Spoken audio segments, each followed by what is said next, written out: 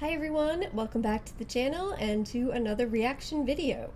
Right, today I'm going to be reacting to the new official trailer for Dune that was just released. And uh, looks like Nala would like to participate in this reaction, is here to join me, as she often is. But um, yeah, so this was just released. Uh, it's probably going to take me a couple days to get it up, unfortunately, but I really don't want to wait to watch it, so we're going to record right now.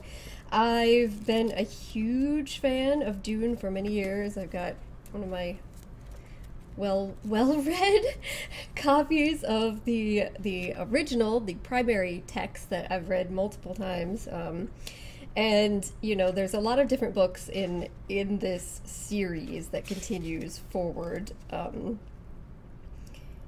the Dune Chronicles, and I have read all of the original Dune Chronicles um, at least once, a couple of them twice. This, the first book I've read multiple, multiple times, and I've seen the original film. I've seen the. I actually haven't just seen, but I have an old DVD copy of the sci-fi miniseries that I watched a lot when I was a kid.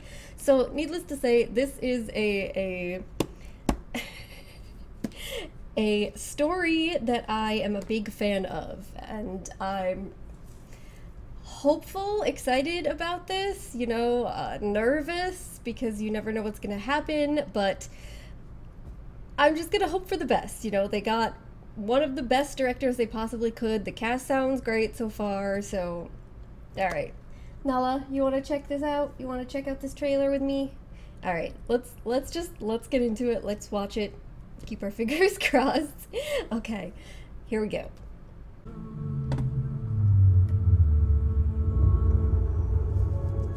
My planet Arrakis is so beautiful when the sun is low. Jamie. Rolling over the sands, you can see spice in the air. Mm. The outsiders ravage our lands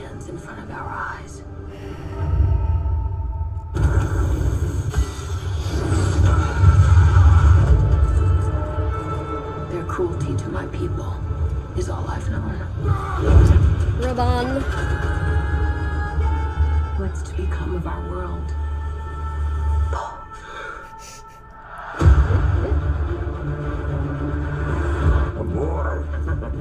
Duncan, can I trust you? here is Duncan. Yes, always, you know that. I've been having dreams about a girl on Arrakis. I don't know what it means. Dreams make good stories. The destiny. important happens when we're awake. Everything? Yeah. Want some muscle? Mm-hmm. No. Okay. There is no call we do not answer. There is no faith that we betray. Smile, Gurney. Mm. I am smiling. The Emperor asks us to bring peace to Arrakis. House Atreides accepts. The visuals are like just what I would There's something awakening Hope.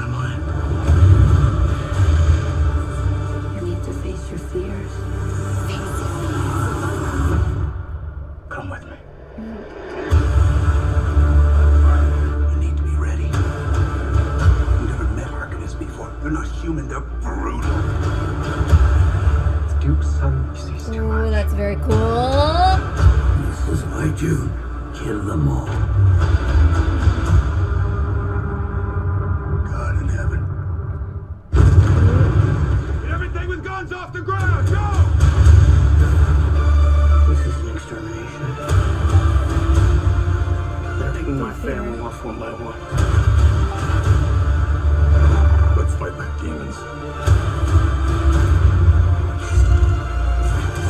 Oh, Duncan.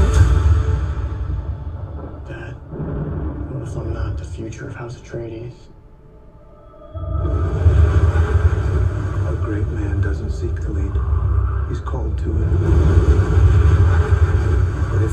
Answer is no, you'll still be the only thing I ever needed you to be. My son. Shai-Hulud looking good.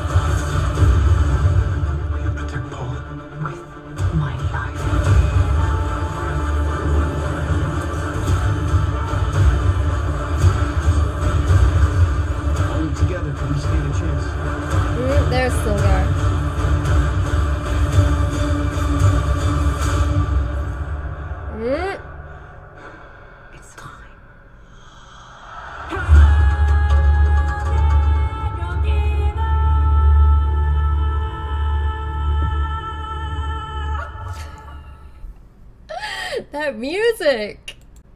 Okay, so Nala seems to have left. I was not paying sufficient attention to her. I was too enraptured by what I was seeing. Um, so first of all, the music was fantastic. Um, very atmospheric, very much kind of the tone and feel that I would hope for, and especially when it got to the end there, um, I, I guess it kind of just hit hit the right right spot for me.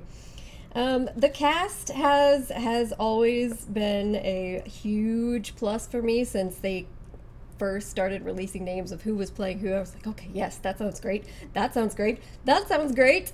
But you know, actually seeing them um, together interacting just kind of reaffirms that to me and get my hopes up even higher.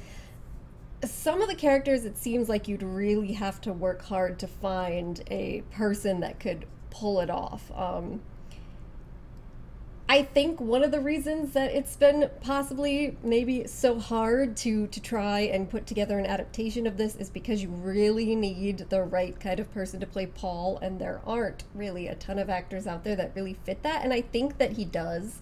Um, so we'll see. We'll hope for the best. Lady Jessica is also extremely crucial and I think Rebecca Ferguson is an amazing casting choice and she has that right just kind of like mysterious, sort of dangerous, I don't know, uh, feel to her, and even in the way she speaks, it just it sounds like she will be perfectly able to to present the voice. If you guys know Dune, you know what I mean.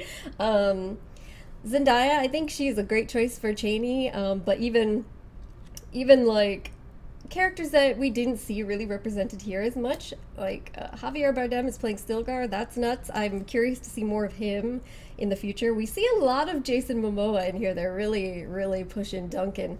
I do think it's interesting um, the way they've chosen to do it, and that they're not kind of like explicitly talking about this. You know, you don't see like a part one attached to it in any of the in any of the um, the media but this is clearly like they're just doing the first half of the story about approximately in this film. So this film would have to do well for us to get the second half and so it's not fully complete. And i think you can kind of tell that from the promotional material from the trailer even though they're not explicitly saying it if you've read the books you know any of the material just by how much emphasis is placed on certain characters who aren't necessarily around at certain points later, and this is obviously an earlier timeline in the story, and some of the things that take up a lot of the story later on are not really shown or emphasized in any sort of way or much at all. I'm curious, one character that we haven't really seen and I haven't heard anything about casting is Piter. Um, I mean, and also Princess Irulan, but Piter in particular obviously is going to have a significant role, and I kind of wonder if they're saving him to even cast for a second movie, or if this is going to be like a surprise when he shows up. Um, or maybe you guys know, maybe there is somebody that's been cast and I just hadn't heard about it. Um, yeah, and then of course, like some of some of the the really interesting things that happen much later in the story. I mean, course, Alia, who I won't spoil who she is if you guys don't know the story but is is a very strange and interesting character that comes to be significant. So i i very curious about how that's going to play out if they go to a second one. But for now for this part i'm really optimistic. I'm hopeful. Everything looks good. It feels right but you know trailers can be deceiving so i just have to like please please be good please be good please. Um, and please i hope that it's good and that people go to see it so that we can get the whole story eventually filmed and put together. So this is going to be out on hbo max and my plan will probably be to watch and react on hbo max as i i tend to do and then also to try and go out and see it in the theater preferably in IMAX because this is made for IMAX I don't know if I'll actually be able to do that, but maybe you gotta hope for the best by the time October rolls around. Maybe I'll have an opportunity to do that again, but I'm just really excited. I'm really hopeful. So I hope you guys are too. Let me know what you think, how you feel about this. You looking forward to it? Are you optimistic or just terrified or what? Um, and you plan on seeing it in the theaters? Maybe seeing it more than one place? What are your thoughts? All right. Thank you guys so much for joining me, and hopefully I will see you next time. Bye.